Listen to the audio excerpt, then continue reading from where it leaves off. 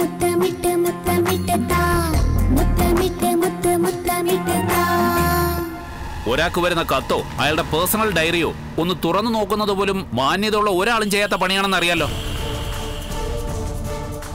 അപ്പൊ പിന്നെ ആളില്ലാത്ത നേരത്ത് പാത്തും പതുങ്ങി ഒരാളുടെ മുറി കയറി പരിശോധിക്കാന്ന് പറഞ്ഞ എന്ത് മാന്യതയാ? എന്ത് അന്തസ്സാ? വിശ്വട്ടിന് ഇപ്പൊ ആരുടെ മുറി കയറി പരിശോധിച്ചെന്ന് ചന്ദ്രനെ പറയുന്നേ? എന്റെ മോളുടെ മുറിയിൽ.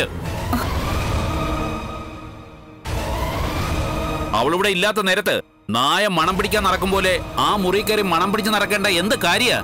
നിങ്ങളുടെ ഈ മാന്യനും സംസ്കാര സമ്പന്നനും സർവോപരി ദുബായിക്കാരനുമായ ഈ മേനോന്.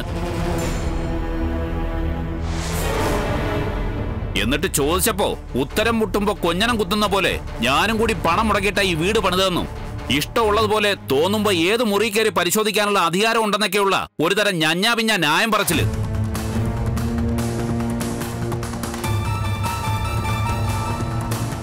അങ്ങനെ അധികാരം ഉണ്ടെങ്കിൽ താ എന്റെ മുറി കയറി ഒന്ന് പരിശോധിക്കും. മുമ്പൊരിക്കൽ ഇതുപോലെ ആരും കാണാതെ പാത്തും പതുങ്ങിയും ഞങ്ങളുടെ മുറി കയറി. നിമ്മി അലക്കി തേച്ച് വച്ചിരുന്ന എന്റെ ഷർട്ട് മോഷ്ടിച്ചു കൊണ്ടുപോയി. എന്റെ ഡെഡ് ബോഡിന്ന് കിട്ടിയ ഷർട്ടാണെന്നും പറഞ്ഞ് താനും തന്റെ അളിയനും കൂടി കാണിച്ചു കൂട്ടിയതിന് കിട്ടിയ ശിക്ഷ ഓർമ്മയുണ്ടല്ലോ. അതുപോലെ എന്ത് മോഷ്ടിക്കാനാ താൻ ഞങ്ങളുടെ മോളുടെ മുറി കയറിയത്?